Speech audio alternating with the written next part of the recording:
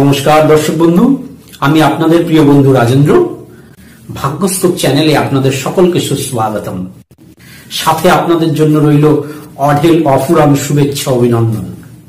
প্রতিদিনের ন্যায় আজকেও একটি নতুন বিষয়ের সাথে একটি নতুন ভিডিও আপনাদের সামনে উপস্থাপন করতে চলেছি। আমার সাথে সব সময় যোগাযোগ রাখতে নিচের ফেসবুক পেজটি লাইক করুন এবং ফলো করুন। আর আমার হোয়াটসঅ্যাপ গ্রুপ জয়েন করতে আজই নিচের নাম্বারে রিকোয়েস্ট পাঠান। আসুন এবার আমরা মূল বিষয়ে এসে উপস্থিত হই। প্রিয় দর্শক বন্ধু, আমাদের প্রত্যেকের জীবনে গ্রহ নক্ষত্র বিশেষ ভূমিকা রাখে। এটা আমরা সকলেই যারা জ্যোতিষশাস্ত্র চর্চা করি বা জ্যোতিষশাস্ত্র সম্বন্ধে অল্প বিস্তর জানি, সেটা সকলেই জানি। আর এই গ্রহ ও নক্ষত্রের স্থান পরিবর্তনের ফলে আমাদের জীবনে এর বিশেষ প্রভাব পড়ে। সেটা নেতিবাচক হতে পারে বা পজিটিভও হতে পারে। আর সেই প্রভাব কখনো আমাদের জন্য ভালো হয়, আবার সেই প্রভাব কখনো আমাদের জন্য খারাপ খবর নিয়ে আসে। জ্যোতিষশাস্ত্র মতে, বৃহস্পতি হল নৈসর্গিক শুভ গ্রহ। বৃহস্পতি শুভ ফলদাতা।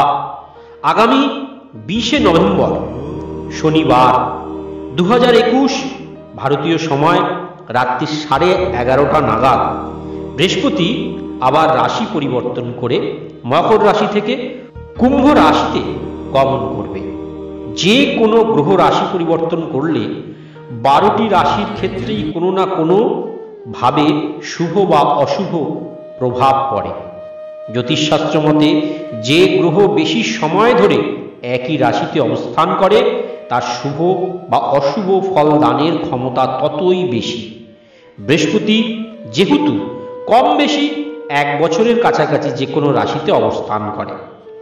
তার ফলে রাশিচক্রের বারোটি রাশির কোনো না কোনোভাবে শুভ প্রভাবে প্রভাবিত হবেই হবে। তবে চলুন, কোন রাশিতে কি কি প্রভাব পড়তে পারে আমরা এখন সেটাই দেখে নেব।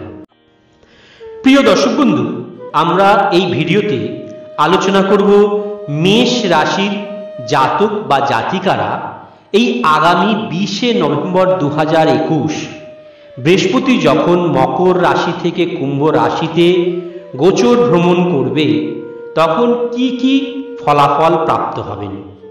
প্রথমে আমরা জেনে নেব যে মেষ রাশি থেকে বৃহস্পতি একাদশে যখন গোচর ভ্রমণ করবে, তখন সেই বৃহস্পতির দৃষ্টি থাকবে রাশির তৃতীয়, রাশির পঞ্চমে এবং রাশির সপ্তমে। তার ফলে তারা কি কি ফলাফল প্রাপ্ত হবে আমরা সেটা প্রথমে জেনে নেব। যখন বৃহস্পতির দৃষ্টি তৃতীয়, পঞ্চমে এবং সপ্তমভাবে থাকবে, তখন সেই জাতক বা জাতিকা দেখা যাবে যে তাদের যে নতুন কোনো যদি তারা উদ্যোগ গ্রহণ করে, প্রচেষ্টা গ্রহণ করে, সেই প্রচেষ্টায় তারা সফলতা লাভ করবে। আবার দেখা যাবে তাদের সঙ্গে ছোট ভাই বোনেদের সম্পর্ক ভালো হবে। আবার দেখা যাবে যে তারা যখন কোনো একটা ইন্টারভিউ দিতে যাবে, যেরকম চাকরি যারা পরীক্ষা দিচ্ছে বা দিয়েছে, তারা যখন ইন্টারভিউ দিতে যাবে, এই সময়টাতে দেখবেন ইন্টারভিউগুলো ভালো হবে কমিউনিকেশনটা ভালো হবে। তারা যদি কোনো একটা সিদ্ধান্ত নয়, জীবনের গুরুত্বপূর্ণ সিদ্ধান্ত এই রকম ডিসিশনগুলো যদি তারা এই সময় নেবে, সেগুলো বেশিরভাগ ক্ষেত্রেই সফল হওয়ার সম্ভাবনা থাকবে। এছাড়াও দেখবেন এই সময় এই সকল জাতক বা জাতিকাদের ছোটোখাটো ভ্রমণ ঘটতে পারে এবং এর পরে দেখবেন এই সকল জাতক বা জাতিকাদের সঙ্গে প্রতিবেশীদের সম্পর্কটা ভালো হবে। এই সময় কোনো সম্পত্তির দলিল ইত্যাদি রেজিস্ট্রি করা ইত্যাদি খুব ভালো সময়। দলিল ইত্যাদি রেজিস্ট্রি করলে তাদের দেখবেন সেই যে সম্পত্তি থেকে বহু লাভ এরা ঘরে তুলে নিয়ে যেতে পারে। এরপরে দেখবেন এই সকল জাতক বা জাতিকাদের যারা সন্তানাদি রয়েছে, তারা দেখবেন তাদের শিক্ষা জগতে কর্মজগতে খুব সুনাম পাবে এবং তাদের এই সময় হঠাৎ প্রাপ্তির যোগ হতে পারে। যে কোনো বিনিয়োগ থেকে সে লটারি হোক বা শেয়ার মার্কেটে বিনিয়োগ হোক মিউচুয়াল ফান্ডে বিনিয়োগ হোক, বা অন্যান্য কোনো জায়গায় যে কোনো বিনিয়োগ থেকে হঠাৎ প্রাপ্তির যোগ তৈরি হতে পারে। এই সকল জাতক বা জাতিকাদের যে সন্তানাদিরা রয়েছে, তাদের দেখবেন উচ্চশিক্ষায় সফলতা লাভের সুযোগ আসবে। বা যারা যারা উচ্চশিক্ষার জন্য প্রচেষ্টা করছেন বা উচ্চশিক্ষার মধ্যে রয়েছেন, তাদের দেখবেন তাদের এই সময়টাতে সফলতা লাভ করার সুযোগ অনেক বেড়ে যাবে। যে সকল জাতক বা জাতিকা প্রেমজ সম্পর্কে রয়েছেন, তাদের দেখবেন এই সময় সম্পর্কটা অনেক বেশি প্রগাঢ় হবে। এই সময় তাদের এই সম্পর্ক থেকে দেখবেন বিবাহে সেই সম্পর্কটা পরিণত হতে পারে। এবং সপ্তমভাবে যখন দৃষ্টি দেবে, তাদের দেখবেন বিবাহের যোগ তৈরি হবে। দাম্পত্য সম্পর্কটা ভালো হবে এবং যারা যারা ব্যবসা বাণিজ্য করছেন, ব্যবসায় সেইভাবে লাভের মুখ দেখতে পাচ্ছিলেন না, তারা তারা দেখবেন এই সময় ব্যবসায় লাভের মুখ দেখতে পাবেন। যারা যারা বেসরকারি ক্ষেত্রে চাকরি বাকরি করছেন, তাদের দেখবেন উন্নতির যোগ তৈরি হবে ইনক্রিমেন্ট প্রমোশন ইত্যাদি পাবেন। আর যারা পার্টনারশিপ ব্যবসা করছিলেন ট্রেডিং ব্যবসা করছিলেন, তারাও দেখবেন এই সময় কিন্তু আপনাদের লাভের মুখ দেখতে পাবেন। আর ব্যবসার জন্য ছোটোখাটো ভ্রমণ কিন্তু এই সময় আপনাদের অবশ্যই হতে পারে। এছাড়াও আপনাদের এই সময় কিছু কিছু ঋণাত্মক প্রভাবও কিন্তু দেখা যাবে।